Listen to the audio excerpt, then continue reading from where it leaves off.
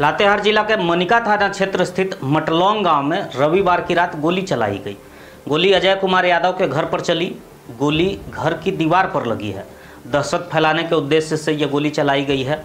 मौके पर से एक पर्चा भी बरामद किया गया है, जिस पर्चे में लिखा है, जिस काम में तुम कामयाब होना चाहते हो, उसका ख्वाब देखना बंद कर दो।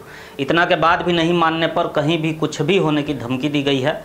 हालाँकि पर्चा में किसी भी नक्सली संगठन या आपराधिक संगठन का नाम नहीं लिखा हुआ है। किसी ने इस घटना की ज़िम्मेदारी नहीं ली है।